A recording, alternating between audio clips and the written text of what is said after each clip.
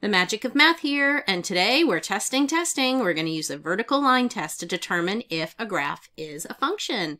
Here we go. Here's our question today. This question has two parts, and part A, determine whether each graph in this table represents y as a function of x.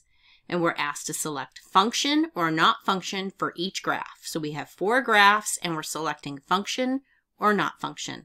So this is small, so let's go and enlarge it. We'll do one at a time. We're looking for function or not function, and here is our first graph.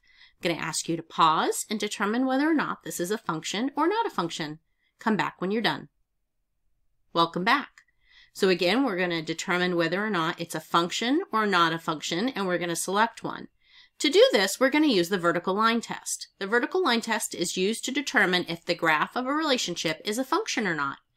As you pass your pencil vertically left to right, if it intersects more than one point on the relationship, then it is not a function.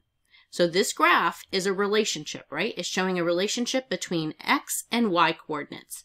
So we're going to pass our pencil left to right, and here it goes, and we're looking one point, one point, one point. So now we can say that this graph is a function because the pencil never passed through more than one point at a time.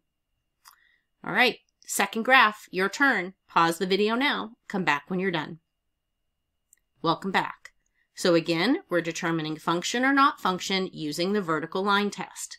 So as we pass our pencil left to right, we can see it fails two points, passes through two points, passes through two points. So I showed you three instances where the pencil passed through multiple points. You only needed one to know that it failed and that it is not a function. Here's your third graph. Go ahead and pause and come back when you're done. Welcome back. So again, function, not a function, and we're going to use the vertical line test. Passing our pencil left to right, we can see that it passes through every single point on this line. So it fails the vertical line test. So a little side tip for you, any vertical line is not a function. It's actually the only straight line that is not a function. All right, your last and final graph. Go ahead and pause. Come back when you're done. Welcome back.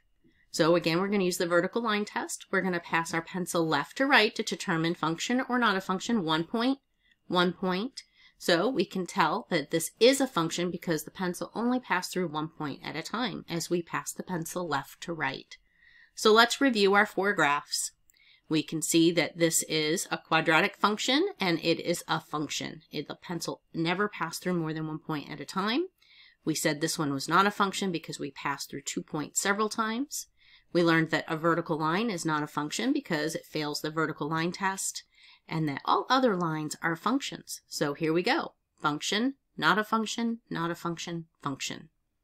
Let's move on to part B. The relationship between the x and y values in this table is not a function. One of the values of x is missing from the table as shown, right here. We're asked, what is one value of x that could replace the missing value in the table to show that y is not a function of x? And enter your answer in the box. So go ahead and pause, think about this, and come back when you're ready to check your solution. Welcome back. So we're trying to determine how to complete this table so that it's not a function.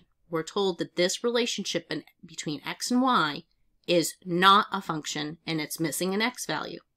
Then we are asked to determine one value that could go for this question mark for x that makes this not a function. So let's review about functions. A function is a relation in which each input has exactly one unique output. So 7 can only have an output of negative 6. It cannot have another output if it's a function.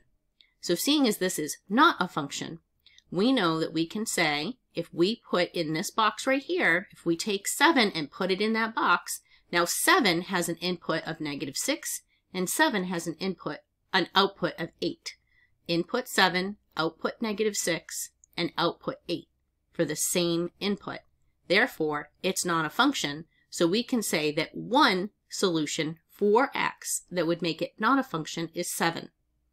Now, maybe you said 12 because if we take that out and we look at 12 as an input with an output of negative 1, if we put 12 in place of this question mark, then it would also have an output of 8, making this not a function because 12 as an input has two different outputs. So you could have answered 7 or 12 and been correct. Okay, you only needed to answer one because they said one value. So, but if you answered 7, you're correct. And if you answered 12, you're correct. So thank you for joining me today to review using the vertical line test to determine if the graph of the relation was a function. And that's the magic of math, where we continue to master math one video at a time. I hope you'll come back soon and have a great day.